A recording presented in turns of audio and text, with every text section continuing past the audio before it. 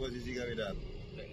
Ini adalah rekaman video amatir yang diambil polisi ketika terlibat aksi kejar-kejaran dengan pelaku yang mengendarai sebuah minibus di perbatasan Provinsi Sumatera Utara dan Riau.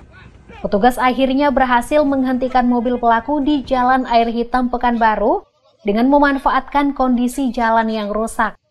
Saat polisi menggeledah mobil pelaku, polisi menemukan empat karung berisikan 53 kg sabu dan 10.000 butir pil Happy Five yang disimpan di bagian belakang mobil.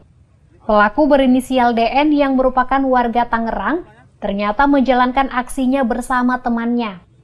Dari keterangannya, polisi menangkap satu temannya yakni TJ, sesama warga Tangerang di sebuah rumah di kota Pekanbaru.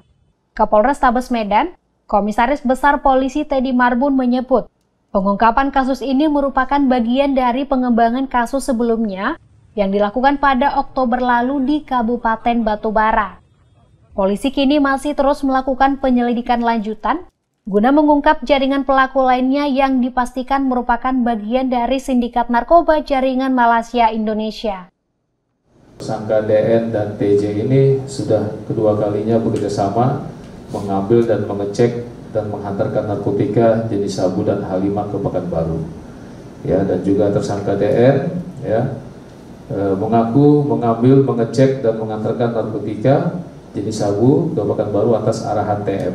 Ya, TM-nya masih DPO. Untuk mempertanggungjawabkan perbuatannya, pelaku kini terancam akan dipenjara selama lebih dari lima tahun karena dijerat dengan Undang-Undang Nomor 35 Tahun 2009 tentang narkotika. Tim Liputan Kompas TV, Medan, Sumatera Utara.